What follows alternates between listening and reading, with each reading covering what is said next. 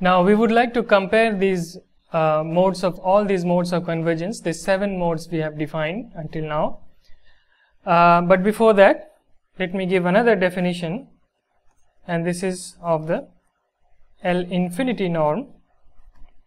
So suppose that f is a complex valued measurable function on x.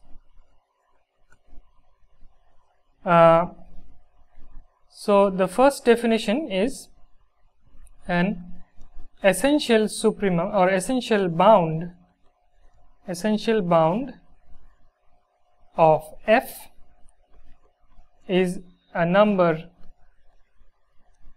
positive number m such that mod fx is less than or equal to m for mu almost everywhere x. So, this bound uh, holds for almost every x. So, this is outside of a null set in x. So, any such uh, positive constant m for which this condition is satisfied is called the essential is called an essential bound of f. Now, the essential supremum essential supremum or L infinity norm is defined to be the infimum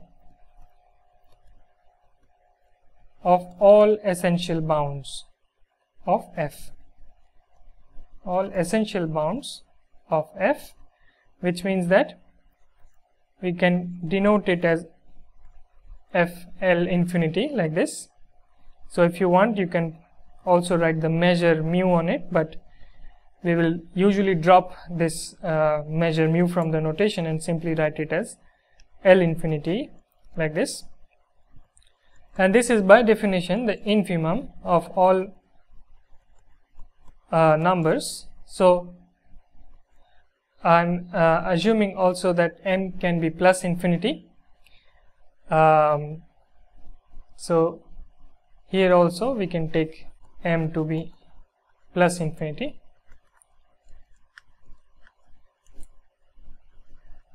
because your uh, function may not be bounded on uh, uh, may not have any essential bound in that case m will be plus infinity.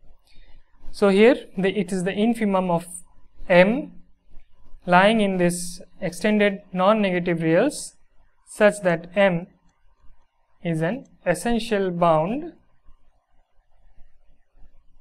of f as defined above. So, this is the L infinity norm. So, one immediate result is the following. So, if f n is a sequence of complex measurable functions functions on x and f is another complex measurable function is measurable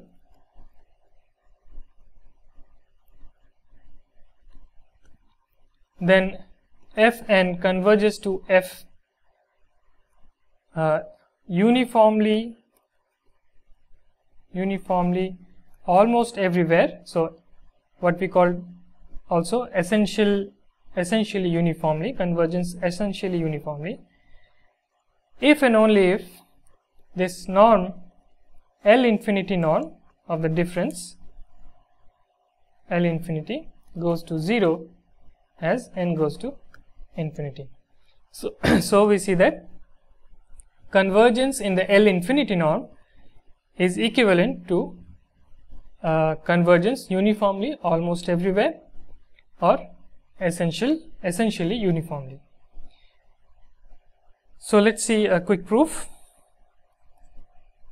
So, we can recall the definition of uh, convergence uniformly almost everywhere.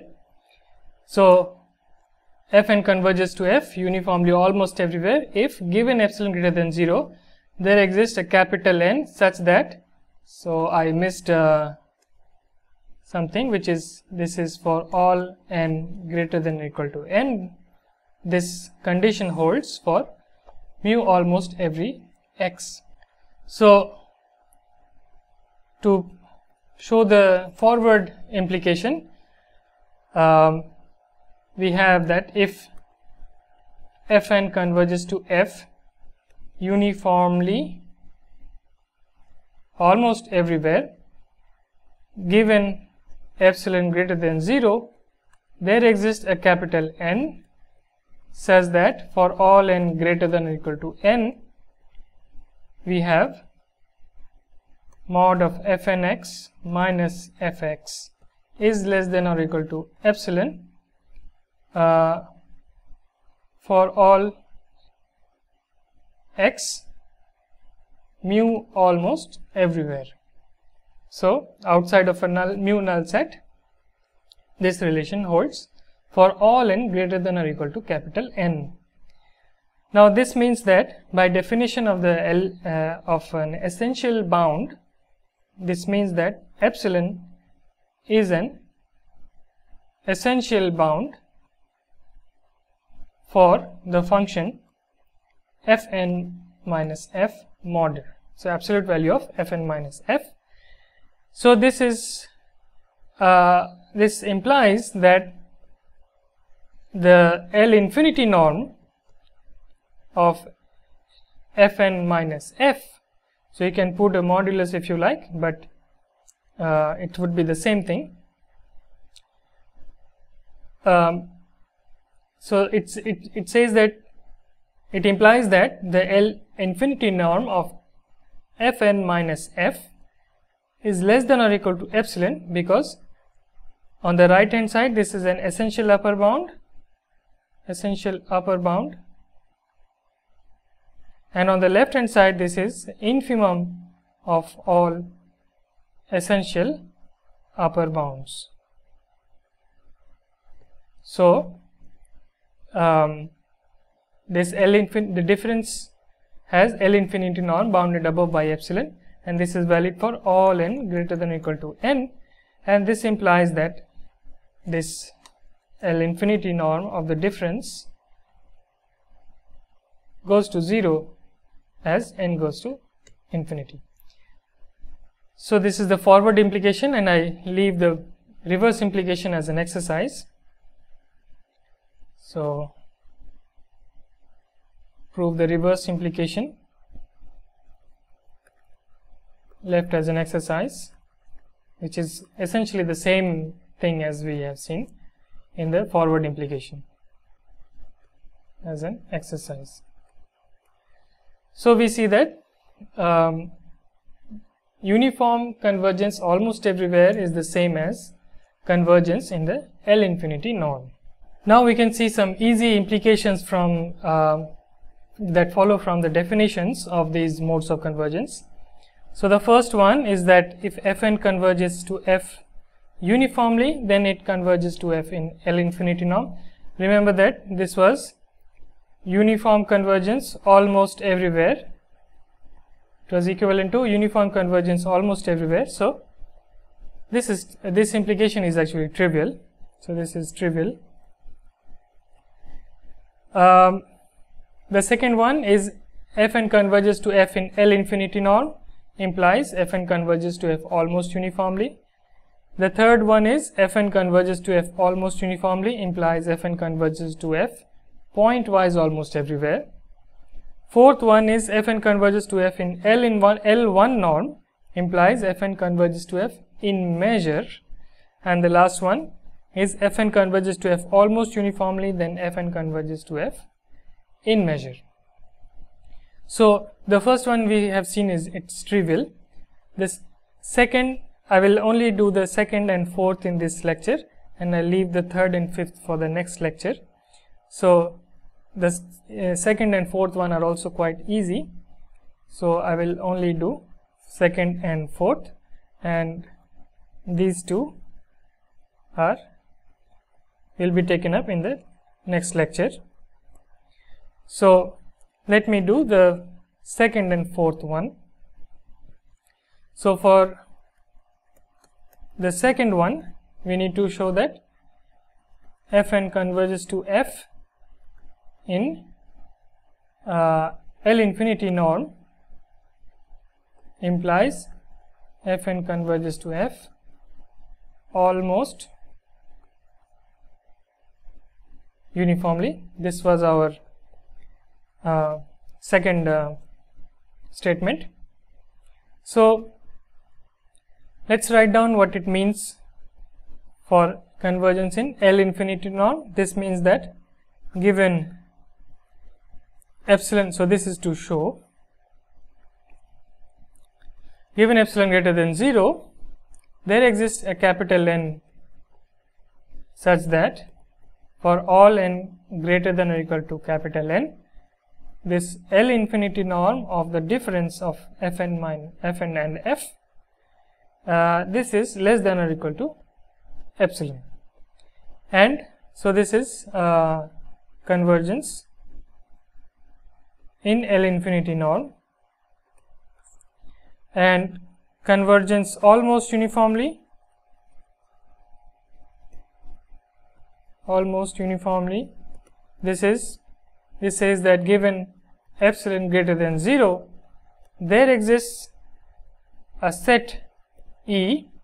So, this set E depends on epsilon and it is a measurable set in X such that the measure of E epsilon is less than or equal to epsilon and Fn uh, restricted to E complement converges to F restricted to E, e complement uniformly.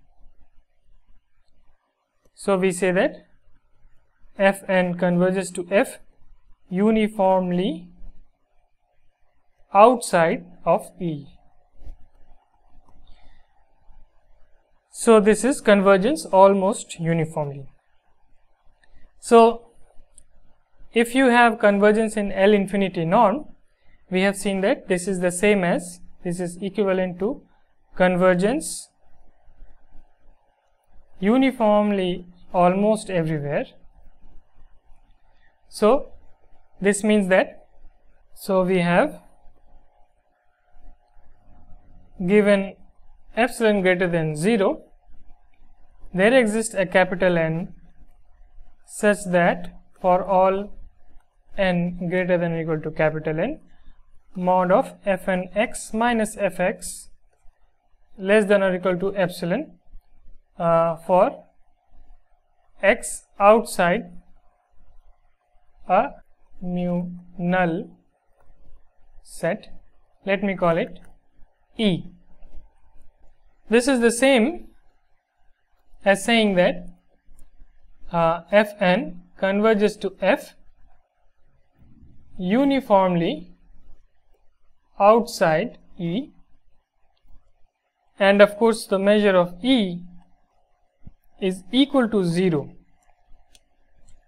measure of E is equal to 0 and of course, this is less than or equal to epsilon. Notice that this mu null set E also depends on epsilon uh, even though it is a null set it may change when you vary epsilon. Uh, so, now this implies that Fn converges to F almost uniformly because your exceptional set is precisely this E epsilon that we have chosen here which is a mu null set. So, this proves 2. For the fourth uh, part we, we have to show that Fn converges to F in L1 norm implies that Fn converges to F in measure. So, uh, we have to show that when Fn minus F has L1 norm goes to going to 0 as n goes to infinity, then this implies that the measure of this set mod fn x minus fx greater than or equal to epsilon uh, goes to 0 as n goes to infinity. So this proof is quite easy because these kind of sets we know how to estimate and this is by the uh, Markov's inequality. So by Markov's inequality for any positive epsilon we have that the measure of the set of points in x such that fnx minus fx has modulus greater than or equal to epsilon is bounded above by 1 over epsilon times the L1 norm of fn minus f. So, this was the statement of Markov's inequality and because epsilon is fixed, this is fixed, this goes to 0 uh, as n goes to infinity by our hypothesis. So, L, L1 convergence uh, implies convergence in measure.